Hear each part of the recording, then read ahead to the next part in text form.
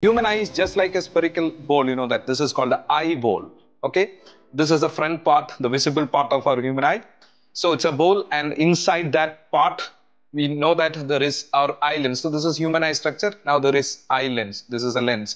This is what type of lens? It's a convex lens. So what is happening when there is an object kept in front of our eye? So I'm going to keep an object. This is an object. Rays will come from it.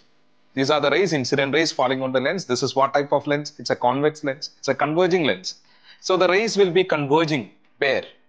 On the back side of our eyeball. What is this part called? There is a light sensitive screen called retina. So this uh, light will be converged on the retina and the image will be formed on the retina. What type of image? A real inverted image will be formed on the retina. All of us know this is lens formula.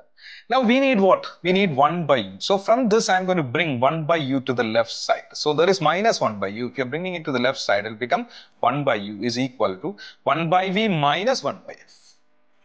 1 by u is equal to 1 by v minus 1 by f. Clear now? You're bringing minus 1 by u to the side, it will become plus and 1 by f to the other side.